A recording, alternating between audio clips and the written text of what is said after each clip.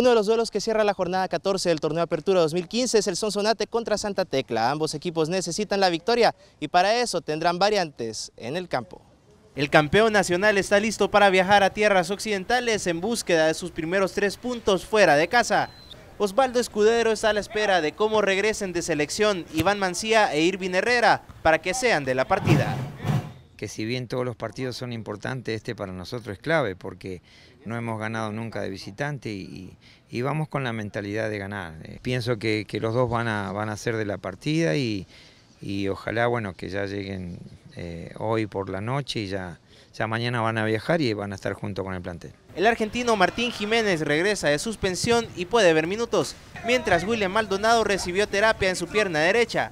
Nada grave, por lo que estará en el juego de este jueves. Por ahí un poco de cansancio de los partidos que, se ha venido eh, seguidos, pero tenemos que estar listos y un poquito de molestia, pero no es, no es grave.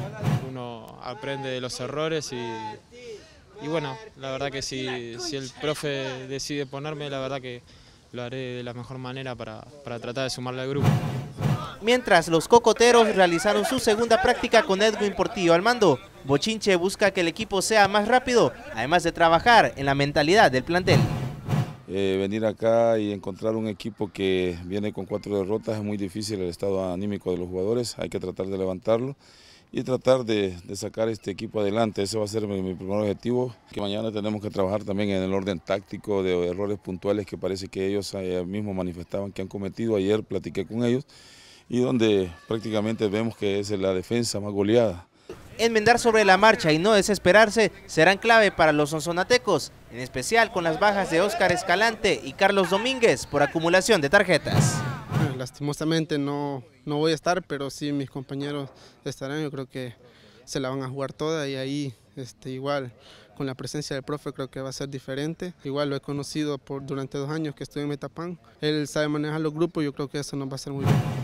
Hemos tenido muchos errores, muy puntuales, sí, y creo que los han metido los goles muy rápido, entonces los ánimos se vienen abajo, pero vamos a tratar de, dar lo mejor ya, ya, ya, borrón y cuenta nueva, ya hablamos nosotros como, como jugadores, ahora hay que demostrarlo dentro de la cancha y tratar de dar siempre lo mejor.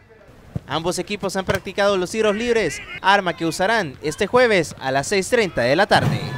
Los ecleños buscan su primera victoria en condición de visitante y los cocoteros volver a la senda del triunfo, ahora bajo el mando de Edwin el Bochinche Portillo. Esto hace el duelo Sonsonate contra Santa Tecla, uno de los más interesantes en esta jornada de Liga Mayor de Fútbol. Desde el estadio Ana Mercedes Campos para Olimpia 33, Milton Aparicio.